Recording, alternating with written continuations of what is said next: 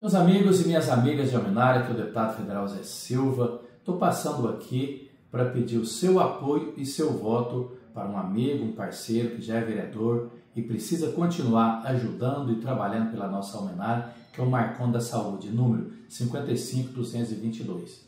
Eu que já tenho história de trabalho com vocês, com o Marconi, com o prefeito Ademir, que já destinei mais de 33 milhões nesses dois mandatos do prefeito Ademir, sempre com o apoio do Marconi, apoiando os projetos importantes lá na Câmara Municipal. Então, para Almenara continuar desenvolvendo cada vez mais, vote vereador Marconi da Saúde, 55222, para prefeito, vote Léo Brito, vice Cristiano, número 55. Vamos juntos!